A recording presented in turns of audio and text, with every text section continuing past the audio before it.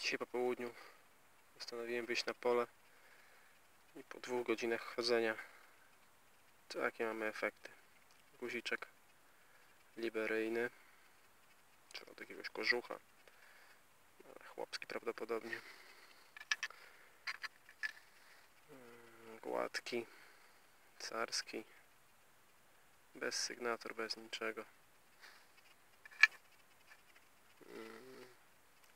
Taki jakiś z zającem.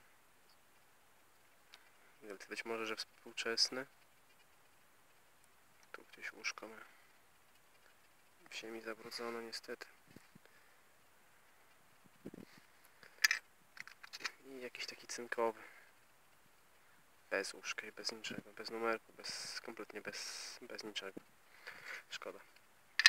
Mm, Z takich z takiej metaloplastyki jeszcze trafił się pierścionek z oczkiem cały. Oczko to jakiś kamień. XIX-wieczny odpuściak pewnie. Nic ciekawego. Mm. Przejdźmy teraz do monet. Monet wszystkich wyszło 3, 9 sztuk. Oj, kawałeczek boratynki. Dzisiaj bieda niestety. Z ilością monet. Tutaj jakieś dwie ubite boratynki. Kompletnie nieczytelne. Z jednej strony widać portret króla na jednej sztuce. Mm, Ubita Krystyna.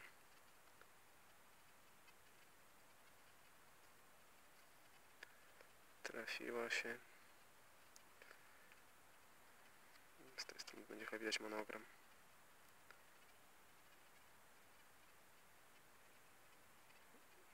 Krystyna.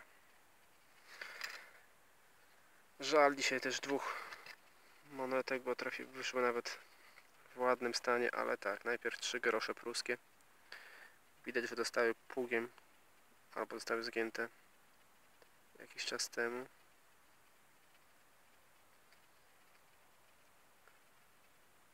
Trzy grosze. 1774. Z królewca. No i żal wszystkich żalów dzisiejszych. Dwudenarek. Z Grynszpanem. Niestety z Grynszpanem.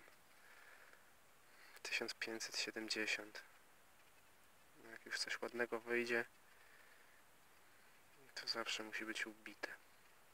Niestety taka bolączka. Ostatnio nas prześladuje. Ale oprócz tych ubitych monet były też trochę ładniejsze. Mm, Na pierwszy ogień Karol Gustaw.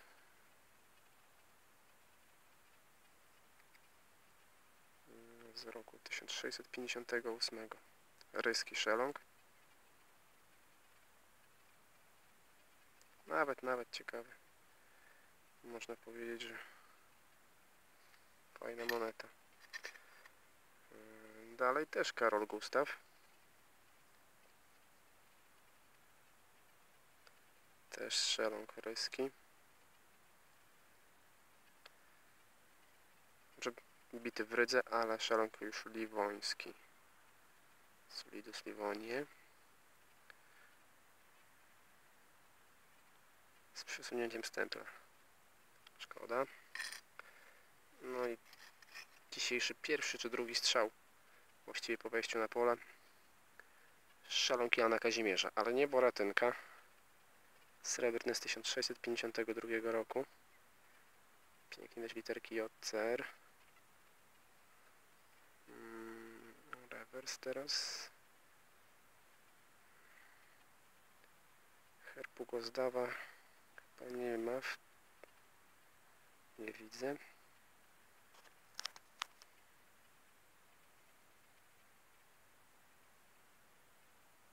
O, monetka ładna.